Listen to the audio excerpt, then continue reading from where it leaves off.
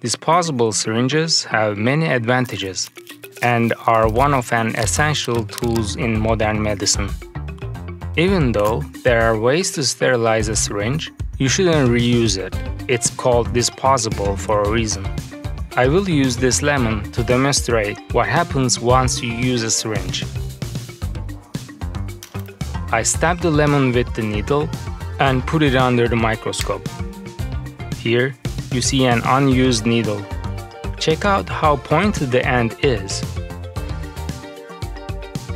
And here's the syringe I used on the lemon. The tip is stubbier. If you use it again, it will damage the tissue. What else would you like to see under the microscope? Let me know in the comment section.